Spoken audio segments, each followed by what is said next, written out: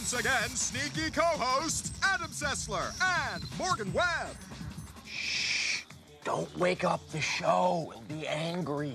Sneaky, welcome back to this special edition of X Play. All episode long, we've been looking at the Metal Gear Solid series. We looked at the end of Metal Gear Solid 2. You looked at me, trying to be stealthy. We're okay at it. And we looked at footage of Naked Raiden doing cartwheels and Solid Snake tossing his cookies. But now, at last, we'll be getting our hands on that game that stealth fans everywhere have been waiting for. That's right. Here's our review of Metal Gear Solid 3 Snake Eater. Mm-hmm.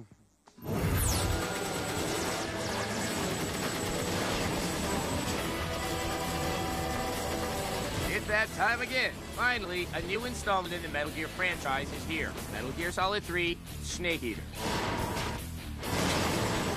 Now let's get one thing out of the way right now. Yes, you play as the old, crusty, standby Solid Snake. Except this is a prequel to the series, which finds Snake young, svelte, and in the U.S. military. The game begins with Snake dropping in on the Russians to recover a weapons specialist who has been traded to Russia in exchange for the country's withdrawal from the Cuban Missile Crisis.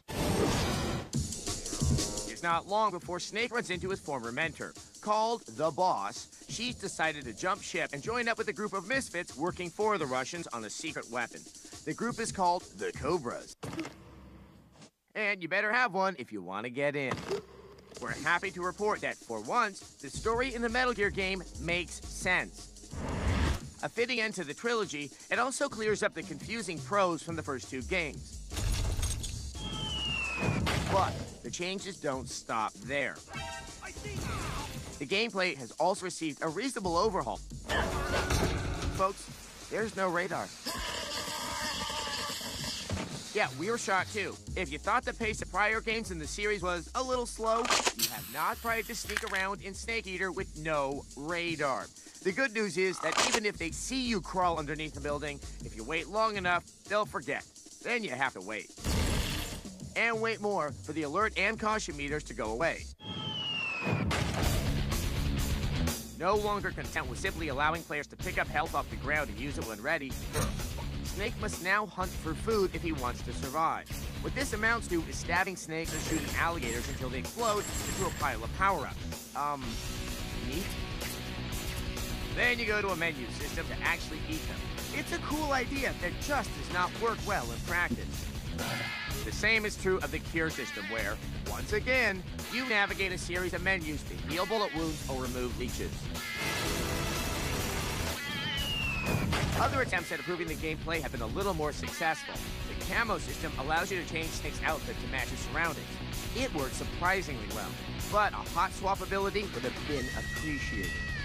Snake has always been able to knock out enemies and hide them, but his options are more robust this time around with the new close quarters combat system. Snake can flip enemies or throw them down by their necks. He can also snatch them up and interrogate them. Speak. Use them as a meat shield. Or, well...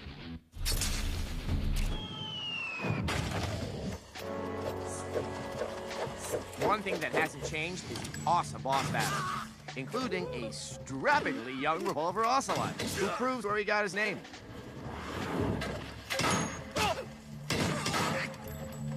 He'll also take on a man who forged a friendship with thieves. The Pain. Like previous Metal Gear games, Snake Eater doesn't allow you to do the coolest things that happen in the game, yet forces you to do some things you'd rather not. Oh, don't cry, Snake. We didn't mean to litter. And we still love your game. Its excellent story and writing, surprisingly long length, attention to detail, and amazing graphics more than balance out its issues for a 4 out of 5.